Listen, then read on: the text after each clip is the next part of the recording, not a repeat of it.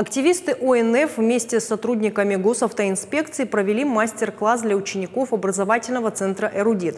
Показывали, как изготовить световозвращающие элементы. Ребята своими руками мастерили фликеры. В свою очередь представители ГИБДД напомнили учащимся о важности соблюдения правил дорожного движения. Обратили внимание на необходимость использования световозвращающих элементов на одежде или портфеле в темное время суток.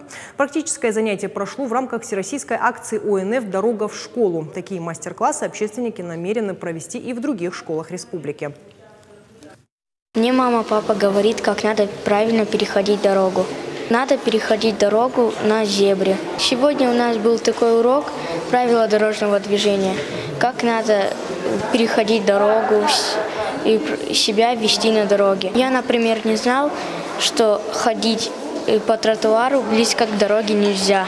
Когда я пойду домой, я буду чуть в стороне от дорожного движения.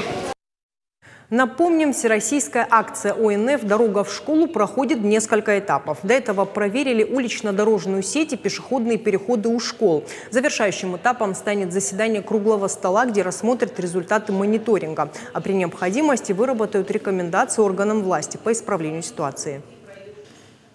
Это, несомненно, важно, так как э, со временем количество автомобилей, транспортных средств на дороге увеличивается. И это очень сильно влияет на безопасность дорожного движения, особенно касаемо детей, которые э, плохо ориентируются на дороге, не знают правила дорожного движения. Им необходимо проводить такие акции, мероприятия, чтобы они э, имели представление и знали, как правильно себя вести на дорогах.